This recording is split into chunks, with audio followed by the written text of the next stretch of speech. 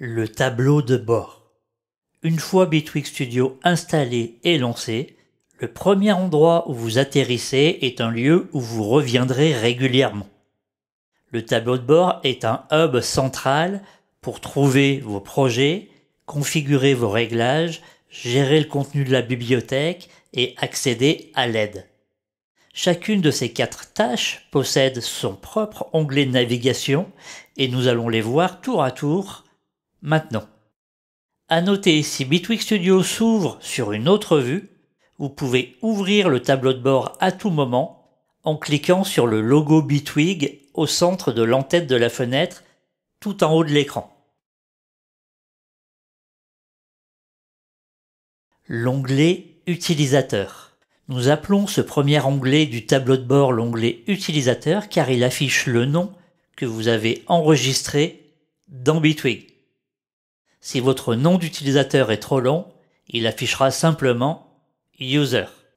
La page Démarrage rapide présente à la fois des modèles de projets qui servent de point de départ et des projets de démonstration réalisés soit par Bitwig, euh, sous projet de démo Bitwig, soit par leurs partenaires sous projet de démo partenaire.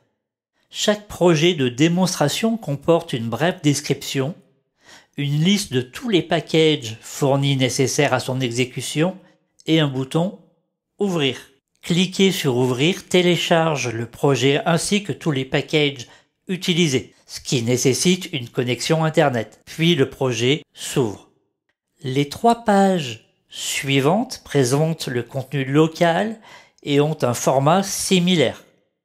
La page Projet récent affiche les projets Bitwig Studio vous avez ouverts dernièrement.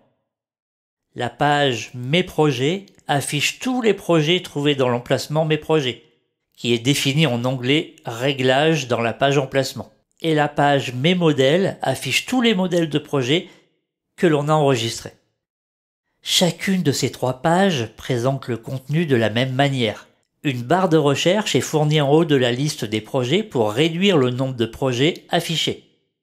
Lorsqu'un projet est sélectionné par simple clic, les informations relatives à celui-ci s'affichent en bas de la fenêtre. Il s'agit d'infos telles que l'heure de la dernière modification et le chemin d'accès au dossier du projet.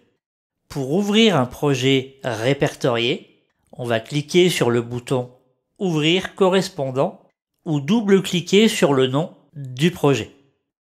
Enfin, toutes les pages de l'onglet Utilisateur ont en commun trois boutons au milieu à gauche.